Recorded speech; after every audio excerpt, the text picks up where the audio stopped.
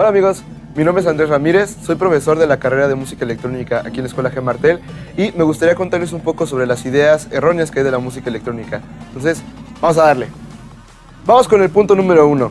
El primer punto del que quería hablar es que el DJ no sabe sobre música. Esta es una mala idea ya que eh, como que está el concepto de que un DJ realmente no conoce sobre teoría musical ni sabe realmente mucho sobre cómo está compuesta la música y realmente está incorrecto.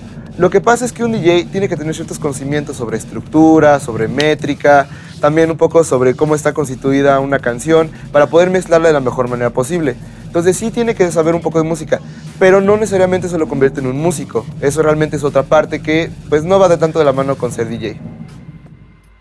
El punto 2 que quiero mencionar es que un DJ no es lo mismo que un productor.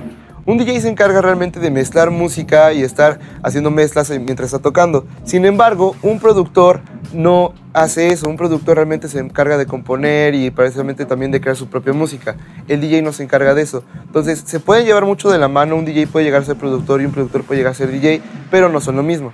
El punto número 3 del que les quería hablar es de que la música electrónica se piensa que se lleva mucho con las drogas y con el alcohol. Sin embargo, no es así. La música electrónica representa mucho más para las personas que la escuchan y también para las personas que crean música electrónica. Ha habido muchos movimientos a lo largo de la historia donde llevan música electrónica, como los movimientos de Chicago, Detroit, que representan mucho para esas personas. Entonces, pues la música electrónica no tiene que ver tanto con la fiesta. El punto número 4 es de que las personas piensan que la música electrónica no lleva ni sentimientos ni emociones. Sin embargo, para muchas personas una canción de música electrónica puede significar mucho, puede representar para ellos un momento de tristeza, de felicidad, de euforia, de nostalgia. Entonces, la música electrónica lleva muchas emociones de por medio en cada canción y cada quien la puede representar como uno quiera. El último punto que quería tocar es de que las personas piensan que uno no necesita saber música para crear música electrónica. Y realmente uno para crear música electrónica tiene que tener ciertos conocimientos sobre teoría musical, composición, arreglo, sobre la parte rítmica, melódica, armónica, qué acordes funcionan, qué acordes no, qué melodías puedo crear a través de estos instrumentos, etc. Entonces realmente cuando hablamos de crear música electrónica sí tenemos que tener un conocimiento sobre música, sobre teoría, para que realmente podamos crear una pieza que sea tanto agradable para nosotros como para el público. Eso ha sido todo por mi parte. Si les interesa saber más sobre música electrónica o sobre cómo convertirse en DJ, aquí les voy a dejar la página de G para que puedan solicitar informes, ¿ok? Nos vemos en la próxima. Hasta luego.